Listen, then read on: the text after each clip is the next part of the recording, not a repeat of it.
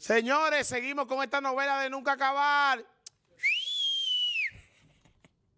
DJ Sammy, de nuevo, responsabiliza secreto de cualquier cosa que le pase tras recibir amenazas, señores. Estoy recibiendo una nueva amenaza. Hago responsable de lo que me suceda a mí o a mi familia. A Odalis Pérez Vicioso, mejor conocido como el famoso biberón secreto. Escribió en su cuenta de Instagram el DJ.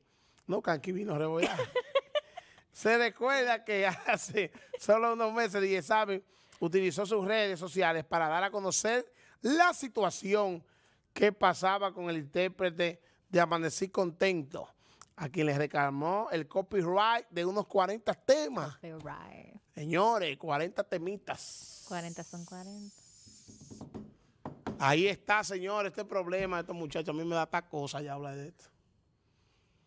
¿Me entiendes? Porque aquí estamos viviendo en un mundo que, que vende humildad, no es humilde.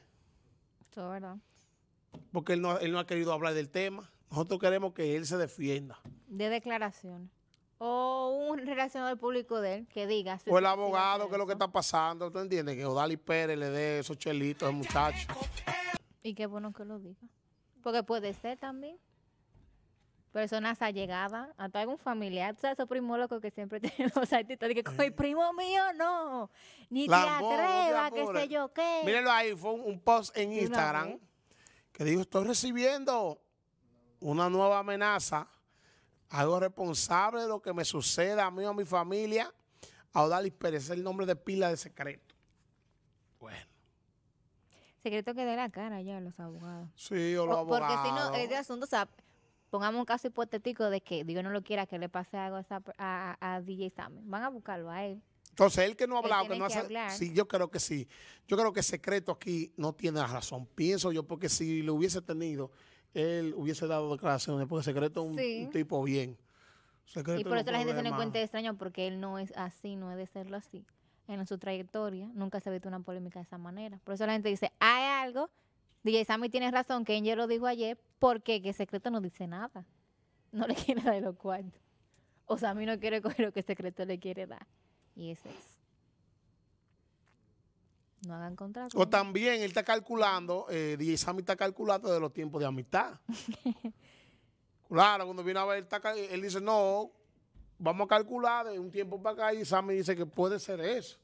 Puede ser que él quiera darle el dinero que es pero Sammy lo está calculando los tiempos de atrás. Están diciendo aquí a Sammy que mangue su tabla. que mangue su tabla. Entonces debe, deben dar la cara. Sí, claro. Debe eh, secreto mandar al, a los abogados, su manager. Un comunicado. Un comunicado que aclare eso. Si no dice a lo judicial.